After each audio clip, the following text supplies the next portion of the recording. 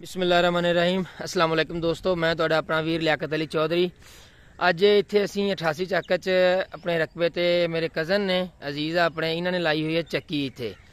ਤੇ ਚੱਕੀ ਤੇ ਇਹਨਾਂ ਨੇ ਲਾਏ ਹੋਏ ਸੀ ਕਾਲੇ ਇੰਜਣ, ਦੋ ਅਦਦ ਤੇ ਮੈਂ ਸੋਚਿਆ ਵੀ ਚਲੋ ਦੋਸਤਾਂ ਨਾਲ ਇਹ ਜ਼ਰਾ ਸ਼ੇਅਰ ਕਰਦੇ ਆਂ, ਬਈ ਇਹ ਕਾਲੇ ਇੰਜਣਾਂ ਦੀ ਚੱਲਣ ਦੇ ਹਵਾਲੇ ਨਾਲ ਮਾਲੂਮਾਤ ਲੈਣੇ ਆ ਉਹਨਾਂ ਕੋਲੋਂ। ਚੱਕੀਆਂ ਇਹਨਾਂ ਨੇ ਦੋ ਲਾਈਆਂ ਹੋਈਆਂ। ਚੱਕੀਆਂ ਦੇ ਨਾਲ ਨਾਲ ਇਹਨਾਂ ਨੇ ਸ਼ੈਲਰ ਵੀ ਲਾਇਆ ਹੋਇਆ ਝੋਨੇ ਵਾਲਾ। ਤੇ ਰੂੰ ਪਿੰਜਣ ਵਾਲੀ ਮਸ਼ੀਨ ਤੇ ਕਪਾਹ ਵੇਲਣ ਵਾਲੀ ਮਸ਼ੀਨ ਜਿਹਨੂੰ ਆਪਾਂ ਕਹਿੰਦੇ ਆ ਉਹ ਵੀ ਇਹਨਾਂ ਨੇ ਲਾਈ ਹੋਈ ਆ। ਤੇ ਇਹ ਹੈ ਮੇਰਾ ਕਜ਼ਨ ਹੈ ਹਾਸ਼ਮ ਅਲੀ ਦਾ ਨਾਮ ਬੇਸਿਕਲੀ 87 ਚੱਕਦਾ ਵਾ। ਤੇ ਇਹਨੂੰ ਆਪਾਂ ਜਰਾ ਮਾਲੂਮਾਤ ਪੁੱਛਦੇ ਆ ਇਹਨੂੰ ਹਾਲ ਹਵਾਲ ਤੇ ਵੀ ਇਹ ਇੰਜਨ ਤੁਸੀਂ ਕਿਦੋਂ ਕਾਲਾ ਇਹ ਕਾਲਾ ਇੰਜਨ ਕਿਦੋਂ ਲੈ ਕੇ ਲਾਇਆ ਸੀ? ਤੇ ਹੁਣ ਇਹਨੂੰ ਇਹ ਬਦਲਣ ਲੱਗੇ ਆ ਇਹ ਲੱਗੇ ਆ ਇੱਥੇ ਇਹਨੂੰ ਬਿਜਲੀ ਤੇ ਸ਼ਿਫਟ ਕਰਨ ਸਾਰਾ ਕੁਝ ਤੇ ਉਹ ਉਹਨੂੰ ਪੁੱਛਦੇ ਆ ਵੀ ਉਹਦੀ ਕੀ ਵਜ੍ਹਾ ਕਿਉਂ ਇਹਨੂੰ ਬਿਜਲੀ ਤੇ ਸ਼ਿਫਟ ਕਰਨ ਲੱਗੇ ਆ? ਹਾਂ ਵੀ ਹਾਸ਼ਮ ਅਲੀ ਜੀ ਇਹ ਆਪਣੇ ਸੈਟਅਪ ਵਿੱਚ ਦੋ ਲੱਗੇ ਹੋਏ ਤੇ ਇਹ ਤਕਰੀਬਨ 6-7 ਸਾਲ ਤੋਂ ਅਸੀਂ ਚਲਾ ਰਹੇ ਹਾਂ। ਬਿਲਕੁਲ ਬਿਹਤਰੀਨ। ਠੀਕ ਹੋ ਗਿਆ।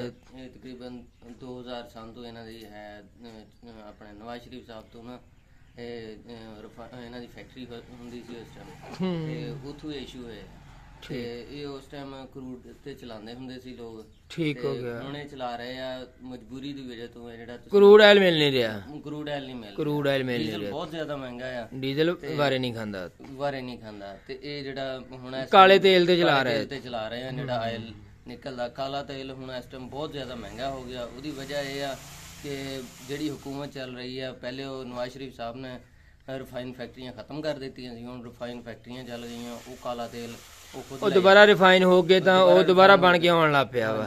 ਜਿਹਦੇ ਵਿੱਚ ਕਾਲਾ ਤੇਲ ਮਹਿੰਗਾ ਹੋ ਗਿਆ ਵਾ ਹੋ ਇਹਦੀ ਜਿਹੜੀ ਆ ਕਾਸਟ ਜਿਹੜੀ ਉਹ ਵੱਧ ਗਈ ਹੈ। ਹੁਣ ਅਸੀਂ ਮਸ਼ਵਰਾ ਕੀਤਾ ਕਿ ਹੁਣ ਅਸੀਂ ਇਹ ਛੋੜ ਕੇ ਤੇ ਅਸੀਂ ਬਿਜਲੀ ਤੇ ਜਿਹਦੇ ਵਿੱਚ ਉਹਦੇ ਮੇਨਟੇਨੈਂਸ ਦੇ ਇਸ਼ੂ ਵੀ ਆ ਰਹੇ ਜ਼ਿਆਦਾ ਹੋਏ ਆ।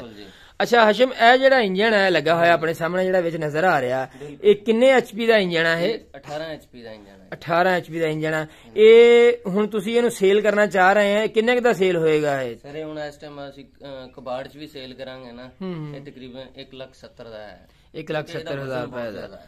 ਹਾਂ ਯਾਨੀ ਵਜ਼ਨ ਬੜਾ ਜ਼ਿਆਦਾ। ਦੇਖੋ ਨਾ ਬਿਲਕੁਲ ਇਹ ਇਹਦਾ ਵੀਲ ਦੇਖੋ ਤੁਸੀਂ ਕਿੰਨਾ ਠੋਸ ਲੱਗਾ ਹੋਇਆ ਵਾ। ਕਿੰਨਾ ਵਜ਼ਨੀ ਹੈ ਵੀਲ ਇਹਦਾ ਕੱਲਾ ਵੀਲ ਹੀ। ਅੱਛਾ ਇਹ ਕੀ ਚੀਜ਼ ਹੈ ਇਹਦੇ ਵਿੱਚ ਇਹ ਜਿਹੜੀ ਹੈ? ਇਹਨੂੰ 에ਅਰ ਕਲੀਨਰ ਵੀ ਕਹਿ ਸਕਦੇ ਹਾਂ ਵਾਲ ਬਕਸਾ ਵੀ ਵਾਲ ਬਕਸਾ ਵੀ ਕਹਿ ਸਕਦੇ ਆ ਤੇ ਇਹ ਇਹ ਜਿਹੜਾ ਇਹਦਾ? ਇਹ ਗਵਰਨਰ ਹੈ ਇਹ ਰੇਸ ਨੂੰ ਕੰਟਰੋਲ ਕਰਦਾ। ਰੇਸ ਨੂੰ ਕੰਟਰੋਲ ਕਰਦਾ। ਇਹ ਥੱਲੇ ਜਿਹੜੇ ਆ ਇਹ ਜਿਹੜੇ ਨੇ? ਇਹ ਉੱਪਰਲਾ ਥਲਵਾ ਜਿਹੜਾ ਦੋਨੀ ਵਾਲ ਹੁੰਦੇ ਆ ਉਹ। ਦੋਨੇ ਵਾਲ ਹੁੰਦੇ। ਇਹ ਦੋਸਤੋ ਇਸ ਇੰਜਨ ਦੀ ਕੰਡੀਸ਼ਨ ਹੈ ਇਹ ਆਇਲ ਪੰਪ ਆ। ਅੱਛਾ ਇਹ ਆਇਲ ਪੰਪ ਆ। ਤੇ ਇਹ ਕ੍ਰੈਂਕ ਹੈ ਜੀ। ਉਹ ਕ੍ਰੈਂਕ ਹੋ ਗਈ। ਹਾਂਜੀ। ਠੀਕ ਹੋ ਗਿਆ। ਤੇ ਇਹ ਦੋਸਤੋ ਇਸ ਇੰਜਨ ਦੀ ਕੰਡੀਸ਼ਨ ਕੋਈ ਦੋਸਤ ਖਾਹਿਸ਼ਮੰਦ ਹੋਵੇ ਤੇ ਇਹ ਮੈਂ ਜਿਹੜਾ ਜਦੋਂ ਵੀਡੀਓ ਅਪਲੋਡ ਕਰਕੇ ਤਾਂ ਇਹਦੇ ਥੱਲੇ ਨੰਬਰ ਵੀ ਦੇ ਦਿਆਂਗਾ ਤੇ ਰਾਬਤਾ ਕਰ ਸਕਦਾ। ਅੱਛਾ ਇੱਕ ਸੈੱਟ ਇਹ ਲੱਗਾ ਹੋਇਆ ਇੰਜਨ ਅੱਛਾ ਇਹ ਲੱਗੇ ਹੋਏ ਸ਼ੈਲਰ ਝੋਨੇ ਵਾਲੇ। ਜਿਹਦੇ ਵਿੱਚ ਤੁਸੀਂ ਕਾਇਨਾਤ ਵਗੈਰਾ ਉਹ ਦੀ ਉਹ ਛੜਾਈ ਕਰਦੇ ਆ। ਇਸ ਤਰ੍ਹਾਂ ਹੀ ਹੈ ਇਹ ਦੋਨੀ ਉਹ ਲੱਗੇ ਹੋਏ ਨੇ। ਠੀਕ ਹੋ ਗਿਆ। ਦੂਸਰਾ ਸੈੱਟ ਇਹ ਲੱਗਾ ਹੋਇਆ। ਅੱਛਾ ਇਹ ਤੁਸੀਂ ਦੋਨੇ ਹੁਣ ਵੇਚ ਦੇਣੇ ਵੇਚ ਦੇਣੇ ਦੋਨੇ ਵੇਚਣਾ ਚਾਹੁੰਦੇ ਆ? ਕਮੀ ਬੇਸ਼ੀ ਹੋ ਸਕਦੀ ਹੈ ਕਿਸੇ ਟਾਈਮ ਚਲੇਗੀ ਬਿਜਲੀ ਫਿਰ ਇੱਕ ਸੈਟਅਪ ਰੱਖਾਂਗੇ। ਇਹ ਹੈ 22 ਹਾਰਸ ਪਾਵਰ ਦਾ। ਅੱਛਾ ਇਹ 22 ਹਸ ਪਾਵਰ ਦਾ ਯਾਨੀ ਕਿ ਉਹਨਾਂ ਨਾਲੋਂ ਜ਼ਿਆਦਾ ਪਾਵਰ ਦਾ ਵਾ। ਇਹ ਜ਼ਿਆਦਾ ਇਹ ਲਾਹੌਰ ਦਾ ਬਣਿਆ ਹੋਇਆ ਹੈ। ਇਹ ਵੀ ਲਾਹੌਰ ਦਾ ਬਣਿਆ ਹੋਇਆ। ਯਾਨੀ ਡਸਕੇ ਦਾ ਬਣਿਆ ਹੋਇਆ ਹੈ ਲਾਹੌਰ ਦਾ ਬਣਿਆ। ਅੱਛਾ ਉਹ ਡਸਕੇ ਦਾ ਬਣਿਆ ਹੋਇਆ। ਇਹਦੀ ਤੇਲ ਦੀ ਐਵਰੇਜ ਬਿਲਕੁਲ ਫਿੱਟ ਆ। ਇਹਦੀ ਤੇਲ ਦੀ ਐਵਰੇਜ ਅੱਛੀ ਹਾਂਜੀ। ਅੱਛਾ ਇਹ 1 ਘੰਟੇ ਦੇ ਵਿੱਚ ਇਹ ਜਿਹੜਾ 22 ਹਸ ਪਾਵਰ ਦਾ ਇੰਜਣ ਆ ਚੱਕੀ ਦੇ ਉੱਤੇ ਕਿੰਨੇ ਦਾਣੇ ਕੱਢਦਾ ਤੇ ਕਿੰਨਾ ਡੀਜ਼ਲ ਖਾ ਜਾਂਦਾ? ਇਹ ਤਕਰੀਬਨ 2 ਮਣ ਪਰ ਲੀਟਰ ਹੁੰਦਾ। ਪਰ ਲੀਟਰ ਹਾਂਜੀ। ਤਕਰੀਬਨ ਇਹਦਾ ਖਰਚਾ ਆ ਜਾਂਦਾ। ਤਕਰੀਬਨ ਖਰਚਾ ਆਇਆ 2 ਮਣ 1 ਲੀਟਰ ਨਾਲ ਕੱਢ ਦਿੰਦਾ ਅਗਰ ਸੈਟਿੰਗ ਸਹੀ ਹੋਵੇ ਅਗਰ ਉਹ ਥੋੜਾ ਬਹੁਤਾ ਕੋਈ ਨੋਜ਼ਲ ਦਾ ਮਸਲਾ ਜਾਂ ਕਿਵੇਂ ਫਿਰ ਉਹ ਕਮੀ ਬੇਸ਼ੀ ਹੋ ਜਾਂਦੀ ਹੈ। ਕਮੀ ਪੇਸ਼ੀ ਹੋ ਇੰਜਨ ਦਾ ਬੋਰ ਡਾਊਨ ਹੋਵੇ ਜਾਂ ਕਿਵੇਂ ਜਾਂ ਤੇਲ ਬਾਜ਼ੂਕਾ ਅੱਛਾ ਨਹੀਂ ਮਿਲਦਾ। ਤੇਲ ਵੀ ਜਿਹੜੇ ਦੇਣ ਹੁੰਦੇ ਉਹ ਵੀ ਦੋ ਨੰਬਰੀਆਂ ਕਰ ਜਾਂਦੇ ਆ। ਬਿਲਕੁਲ ਜੀ ਬਿਲਕੁਲ। ਉਹਦੀ ਵਜ੍ਹਾ ਤੋਂ ਫਿਰ ਊਚ ਨੀਚ ਹੋ ਜਾਂਦੀ ਆ।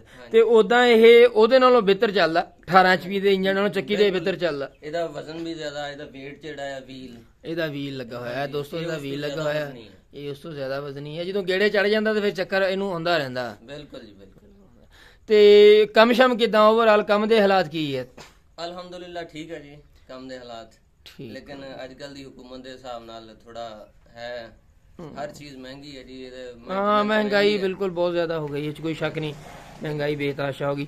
ਅੱਛਾ ਉਹ ਜਿਹਦਾ ਇੰਜਨ ਤੁਸੀਂ ਜਦੋਂ ਵੇਚ ਦੇਣਾ ਵਾ ਤੇ ਉਹ ਜਗ੍ਹਾ ਸਾਫ਼ ਕਰਕੇ ਮੋਟਰ ਵਗੈਰਾ ਜਿਹੜੀ ਤੁਹਾਡੀ ਬਿਜਲੀ ਵਾਲੀ ਲੱਗਣੀ ਆ ਉਹ ਉੱਥੇ ਇੰਜਨ ਦੀ ਥਾਂ ਤੇ ਲੱਗਣੀ ਹੈ ਇਸ ਤਰ੍ਹਾਂ ਹੀ ਹੈ ਬਿਲਕੁਲ ਠੀਕ ਹੋ ਗਿਆ।